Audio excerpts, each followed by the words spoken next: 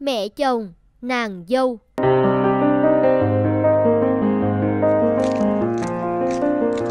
Ôi Mới sáng ra mẹ đã lau nhà rồi Trơn thế này. Để chốc nữa cả nhà đi làm hết Ở nhà lau không được hay sao? Toàn bài những chuyện không đâu à. Không biết mẹ đi đâu rồi Cửa giả thì mở thế kia không khóa. Trộm vào thì sao? Bà chỉ được cái suốt ngày đi buôn chuyện. Thời tiết thay đổi, tuổi bà với tuổi tôi hay đào yêu thế Mẹ đó. ơi Con đi làm đây. Ừ, con đi đi. Này con dâu của bà ghê phết nhỉ? Không biết bà có hợp không? Ừ, tính khi nó thế.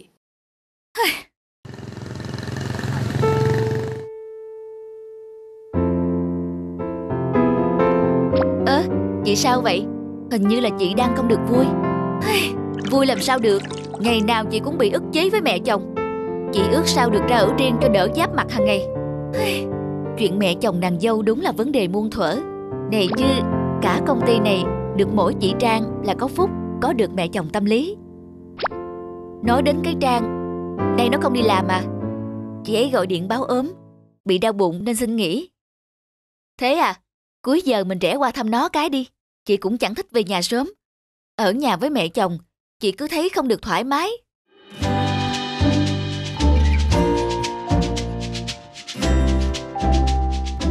Mẹ cho con ăn trước nhé. Chứ nhìn mẹ gọt, con chảy nước miếng dài dài. Ừ ăn đi. Mẹ gọt chủ yếu cho con ăn mà lại. Mẹ cứ làm thế này Thì con chỉ muốn ốm dài dài cho mẹ chăm thôi. Thôi tôi xin cô Cô nhanh khỏi Để tôi còn được đi du lịch. Cái kế hoạch cả nhà đi biển còn chờ cô đó. Thành đây à Cháu qua chơi với Trang hả? Vâng ạ. Ngồi với nó nha Bác xuống bếp nấu cơm. Trời Tớ hơi bị ghen tị với cậu đấy. Có người mẹ chồng hơi bị tuyệt vời. Vừa tâm lý Lại chiều con dâu hết mực. Ừ Tớ cũng thấy vậy Trả bù cho mẹ chồng của tớ. Khó tính Lúc nào cũng soi mói, xét nét. Đã vậy rất hay giận dỗi với con dâu Tớ cảm thấy mệt mỏi Mỗi khi về nhà luôn ý. Này Bác cũng là người khó tính lắm đấy. Bác khó tính mà cái Trang sướng vậy. Chắc cái Trang có bí quyết gì hả? Mẹ ăn hoa quả đi à. Có bí quyết bí cũng gì đâu Chỉ có mỗi tấm lòng thôi. Đúng như em nó nói đấy cái nước ăn, nước ở của nó làm bác xúc động lắm. Lúc Trang mới về làm dâu nhà này, nó cũng có nhiều điều khiến bác không hài lòng. Nó vụng về lắm cháu à, chả biết làm cái gì cả. Nhưng được cái tâm nó tốt, hồi bác có chuyện căng thẳng bị trầm cảm. Chính nó đèo bác hết câu lạc bộ này đến câu lạc bộ kia để bác được vui vẻ. Nó còn nhắc chồng của nó phải quan tâm bác hơn, đưa bác đi chơi đâu đó.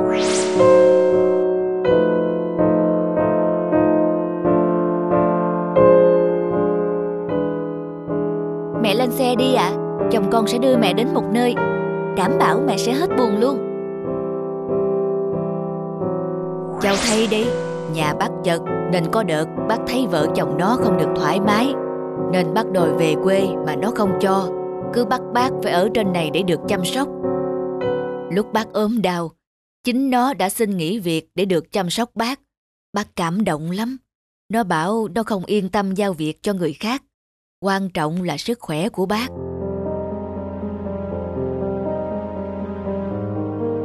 Mẹ ráng ăn đi ạ. À. cháu thấy đấy, nó đối với bác như mẹ ruột, thì làm sao bác coi nó là con dâu được? Nhiều người con đẻ cũng chưa được như nó. Trời ơi, nghe bác ấy nói mà mình thấy mình tệ quá. Mình luôn nghĩ, luôn gọi mẹ chồng là bà ấy.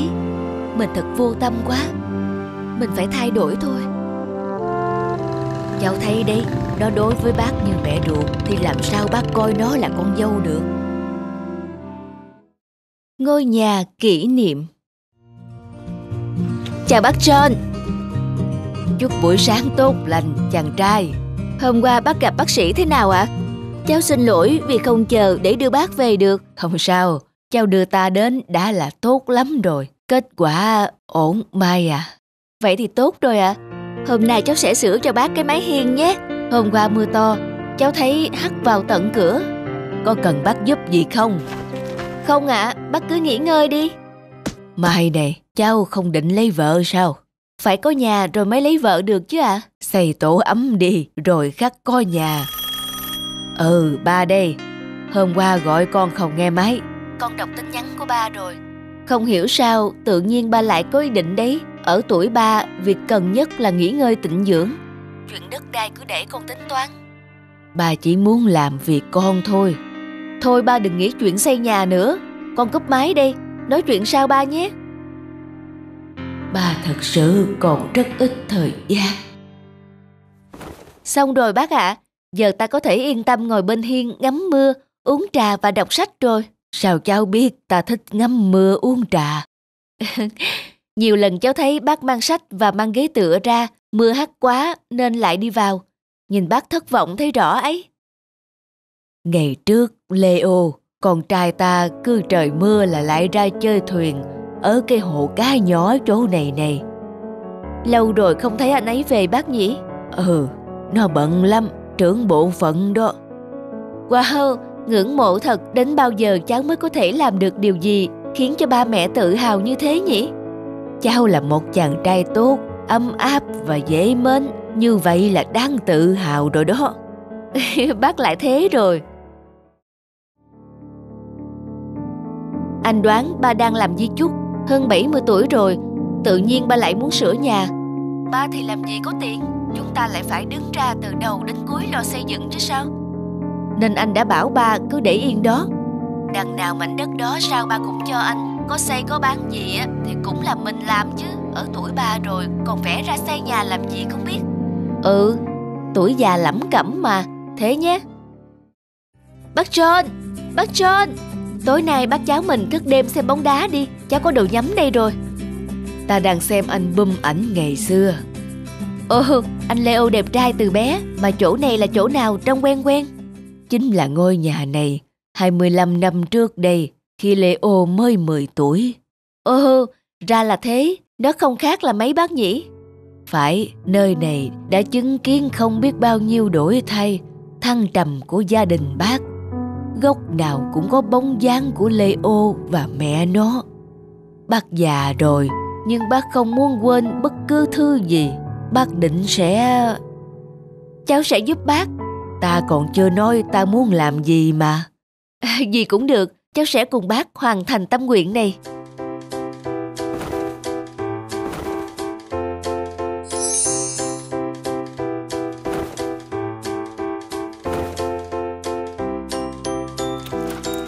Đã xong. Cháu cũng xong rồi.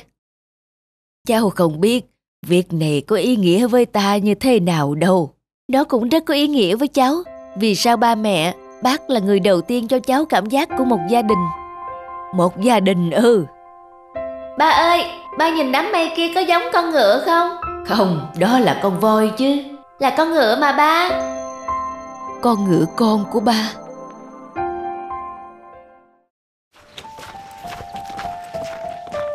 Tôi muốn gặp luật sư Sam. Xin chào, anh là luật sư Sam. Xin chào, hôm nay muốn gặp anh bàn về di chúc của cha anh. Di chúc ư? Phải, ông ấy đã thảo ra một bản di chúc.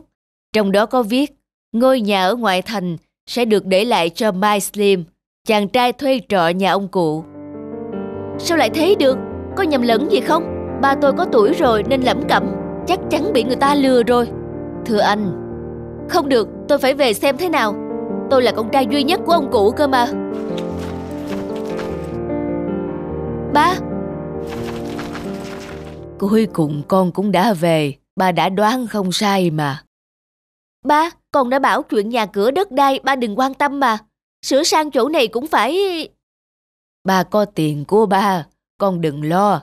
Ba chẳng còn sống được bao lâu nữa, nên muốn tặng ngôi nhà này cho con. Ba đã sửa lại, giống hệt ngôi nhà cũ của chúng ta từng sinh sống. Giữa cuộc sống xô bồ bận rộn, con có thể nhìn vào những ký ức tươi đẹp ngày xưa để bình tâm hơn. Ba, con... Ba... Con nhất định sẽ giữ gìn ngôi nhà kỷ niệm của chúng ta.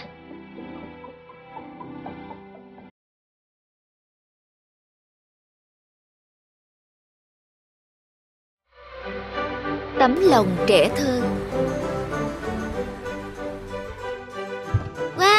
ngôi nhà mới này đẹp quá ba mẹ ơi, con thích lắm.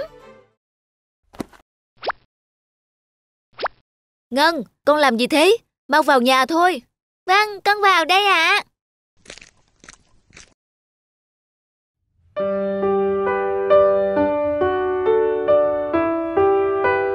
Mẹ ơi, bà cụ kia đang làm gì đấy ạ? À? Bà đang nhặt những lon nước bỏ đi đấy con à. Nhưng để làm gì cơ ạ? À? Để bán lấy tiền mà con. Nào, Ngân, nhanh vào nhà thôi. Vâng. Bà ơi, bà ơi. Bà ơi, bà cầm những vỏ lon này đi ạ. À. Nhà cháu có nhiều lắm. cháu bé, tên cháu là gì? Sao cháu biết bà cần những vỏ lon này? Cháu là Ngân ạ. À. Ngày nào cháu cũng thấy bà nhặt những vỏ lon này nên cháu nghĩ bà cần nó. Ừ, cảm ơn cháu. Dạ, nếu bà cần thì nhà cháu còn nhiều lắm. Để cháu lấy cho bà ạ. À. Ừ, cháu thật tốt bụng, nhưng uh, thế này là đủ rồi cháu ạ. À. Bà ơi, tên của bà là gì ạ? À?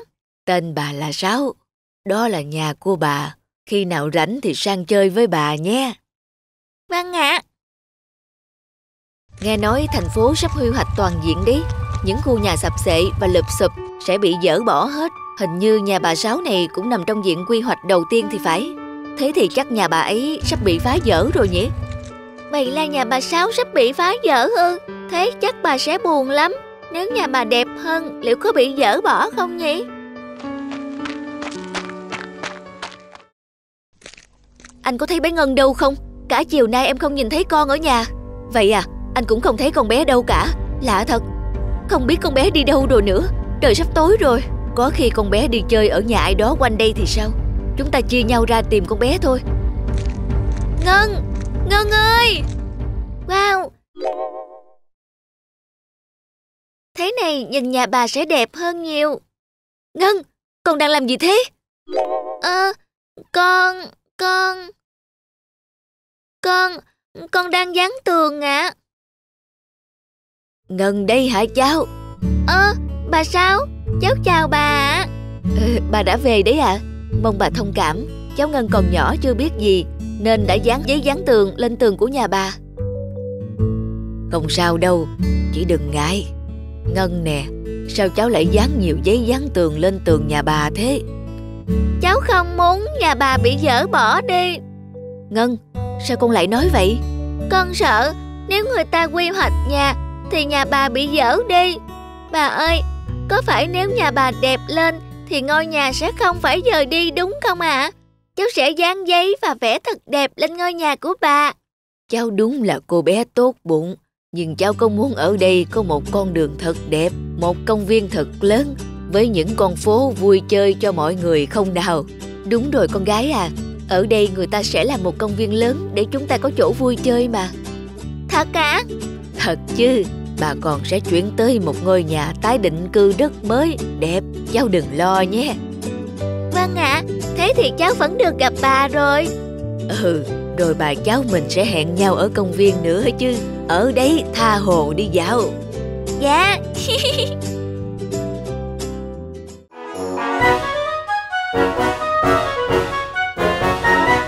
Hãy like, comment, subscribe kênh để xem thêm những video mới nhất nhé.